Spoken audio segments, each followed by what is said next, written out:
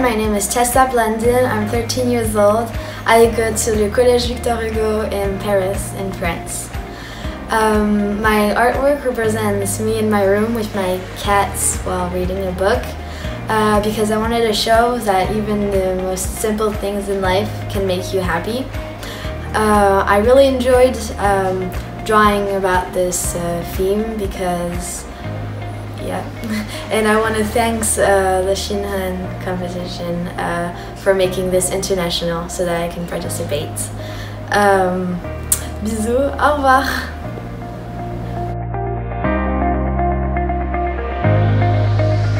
Hi everyone, my name is Pandila Kanaton. I'm 17 years old and I'm from Satriwitthaya 2 School, Thailand.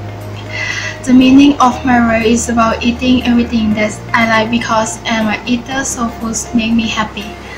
I think eating a alone foods tastes good but eating with everyone is tastes better. This context make me feel like everyone has shared their own experience and their happiness so they can make their work from their happiness what they have found.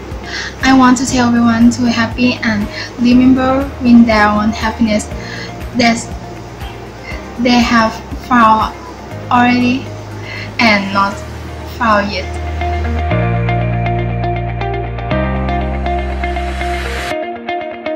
Hello, my name is Bill An. I'm 10 years old.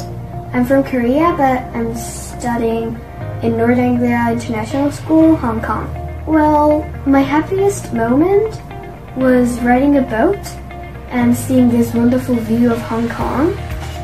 And I was so beautiful that I thought it was like one piece of artwork.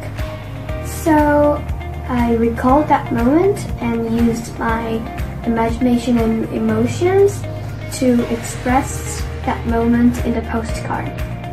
Well, I was introduced by my art teacher who's in Gold Art Center. At first, I was really nervous and concerned, and it was really challenging for me to brainstorm my idea. But when I started drawing, it was really fun, and I felt like I felt that happiness that I felt in that moment. Mm, well, I've learned from this competition that even though there are some challenges or it seems difficult, you could just try it and go ahead. So let's be brave and go ahead!